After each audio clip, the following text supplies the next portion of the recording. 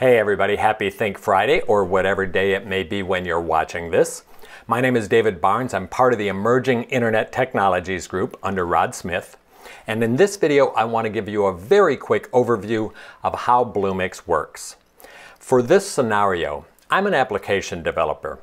And HR came to me and they said, David, could you create an application that uses uh, social outreach, social media, to help us find new qualified employees? So I'm going to create an application that uh, sends out invitations to people on LinkedIn. If they accept the invitation, we grab their profile information from LinkedIn, put it into a database, and then we put it into an HR dashboard so HR can sort by qualified candidates. As the developer, I go here to Bluemix.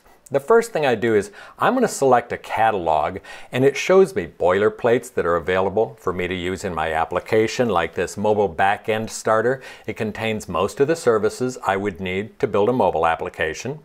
It lets me choose the frameworks or runtimes that I want for my application, developer choice, developer freedom.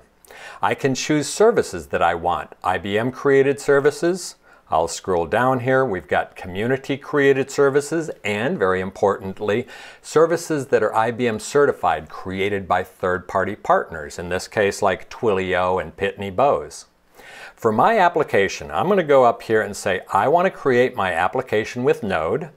I'll give this application a name.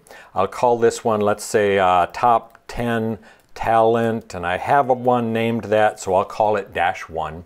Notice the URL is bluemix.net. When I select create, Bluemix runs on top of Cloud Foundry. So it is going to Cloud Foundry and saying, please create an instance of Node for this developer for this application and it's up and running. And as a developer, I don't have to create virtual machines or deal with routers or domain names or configuring memory or any of that stuff. Instead, it's up and running and that just saved me so much time. So Bluemix just asked Cloud Foundry to do that. It's up and running.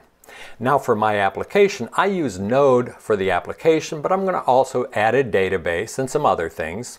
As the developer, by the way, if I want, I can click on my little robot friend up here. Gives me information about what just happened. Down here, it gives me information on how to get started, a few very easy steps.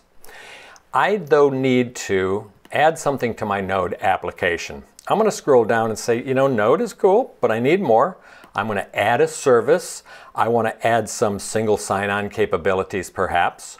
Or here, I want to add a Cloudant database. I have to put this LinkedIn information somewhere. So here's information and I could add it into Bluemix, into my node instance, and it binds it to the node instance once again, up and running, ready for me to go. Uh, I'll switch over to one that we already have running. I'll call it a pre-bake. This application does what I had mentioned. It's got Node running, it's got Cloudant running, it's got some secure sign-on running and ready to go. Ready for the developer to write software. I'm going to switch tabs here. You still have to write software. You can choose your development environment. If you want to write, in this case, in JazzHub, notice that I have an option to deploy, I can put in my user ID and password and it pushes it up into Bluemix. If I go over here and I want to use Eclipse on my desktop, my code is here. When I get done, it pushes it into Bluemix and it uses those services to run the application. I'll go back over there's the application that we created, and after I write my code, it's up and running and it's available, and HR sees it and they say, hey, we absolutely love this. Let me give you an example of how it works. I launched the application. It says, hey, would you like to give your information from LinkedIn to apply for a job, or at least have your name in the hat? I say, hey, this sounds good, so I will allow access. We just went with code that was written in Node, Use the LinkedIn API, grab the information from LinkedIn, put it in the Cloudant database. So now HR can look at it. When we go to the HR dashboard, we had some security to get us there. And there are the candidates that we just got their information from LinkedIn with their permission. If I scroll to the top, I can say, hey, there's this totally unqualified person, me, and the HR people can dig a little further. They love it. The boss said, hey, this totally rocks, but I want to scale it out. Let's get this thing running out there. I need a little bit more resource, so I'll click on this node instance that's running in Cloud Foundry in Bluemix, I say I want to add more instances of this running. I want to scale it out because Cloud Foundry can scale out for me. And there we go. I just scaled out my services. Scalability is essential in a real cloud environment.